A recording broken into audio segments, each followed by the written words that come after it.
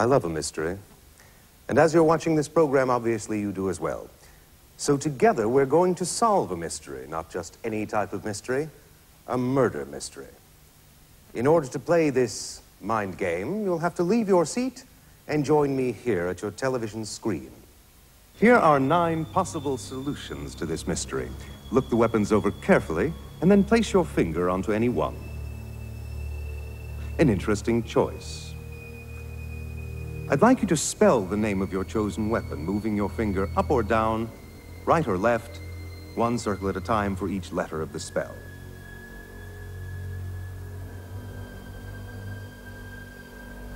Good.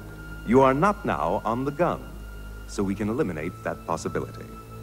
Move your finger three times.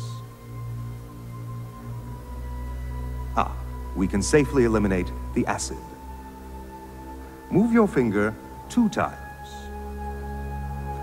You came awfully close, but you are not now on the poison, so we can eliminate that possibility. Move your finger five times.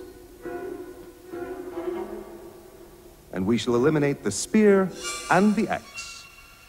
We are down to four possibilities. Make three more moves.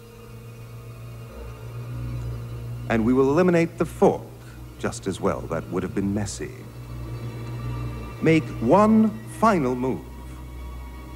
And we shall eliminate the noose and the rifle. Well, congratulations on your detecting. You arrived on the very weapon that did the crime, the dagger. Now, you may ask, how did I know the dagger was the correct weapon? But I'm afraid that will have to remain my secret.